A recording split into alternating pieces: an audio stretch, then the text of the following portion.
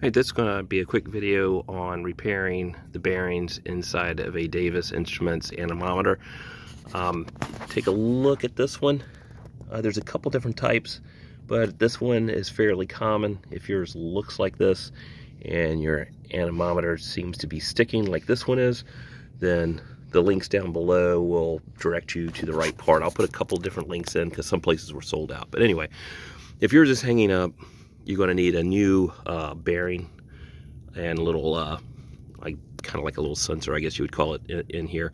But there's bearings in here that that uh, will go bad. The first thing you're going to need to do is there's a small uh, Allen wrench uh, or set screw here and you need an Allen wrench to get it out. I wish I could tell you the size but I can't. Um, it's just small. Uh, I could not find one in my uh, set. I had to go to a bag of just random ones and finally found one that would fit it uh, you don't have to take that out, just loosen it, and then this will pull right off the shaft. Then uh, you can see I've already loosened this Phillips screw. Take that out. And then starting from the back here, we're just grabbing this and going kind of rocking this direction. It'll pop right out.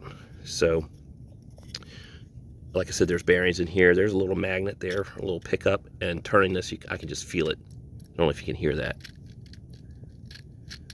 it's just grinding. So now they changed the design. So as you can see, this is open. And here's the replacement. Sealed.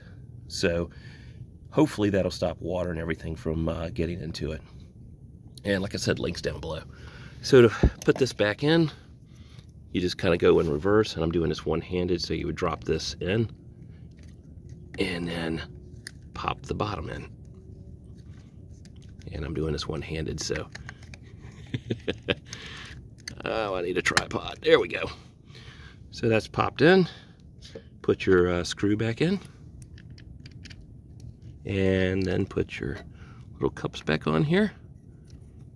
And tighten up your set screw, and you should be good to go. And um, like I said, links will be below. Uh, and this should take care of it if uh, yours isn't working.